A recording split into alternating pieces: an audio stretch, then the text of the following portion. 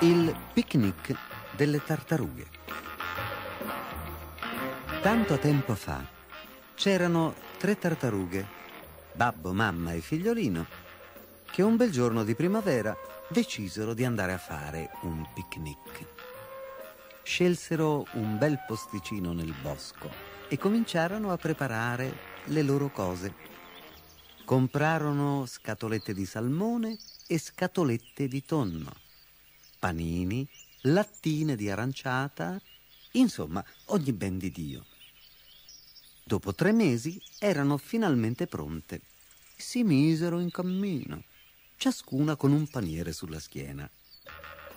Camminarono e camminarono e camminarono e intanto il tempo passava.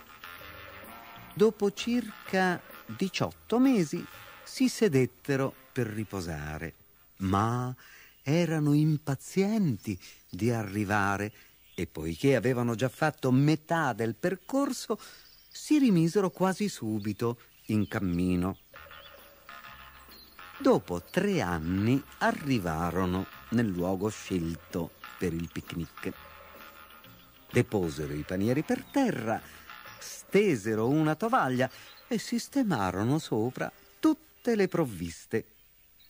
A questo punto, mamma tartaruga cominciò a frugare nervosamente in fondo ai panieri e alla fine esclamò con aria sconsolata.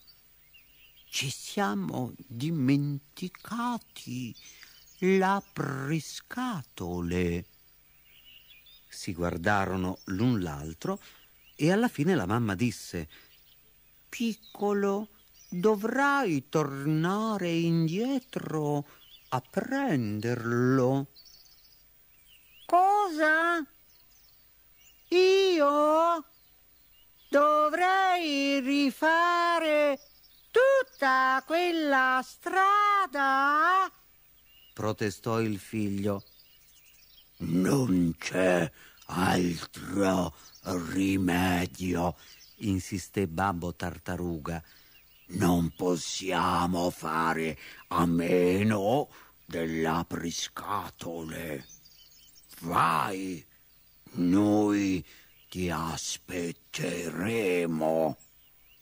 D'accordo, ma promettete, anzi, giurate solennemente di non toccare nulla fino al mio ritorno? Sì, lo promettiamo solennemente, dissero i genitori. Rassegnato, il piccolo si mise in marcia e dopo un po' scomparve fra i cespugli.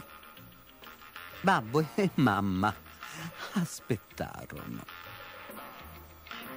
Aspettarono e aspettarono e aspettarono. Passò un anno intero e cominciavano a sentire fame, ma avevano promesso di aspettare. Un altro anno passò e poi un altro e a quel punto erano davvero affamati. Non potremmo mangiare almeno un panino? chiese mamma tartaruga. Dovrebbe ormai essere di ritorno. È vero, dovrebbe essere ormai vicino. Mangiamo un panino per ingannare l'attesa. Avevano appena preso in mano un panino e stavano per addentarlo quando una vocina stizzita disse Ah, sapevo che non potevo fidarmi! Figlioletto tartaruga saltò fuori da dietro i cespugli.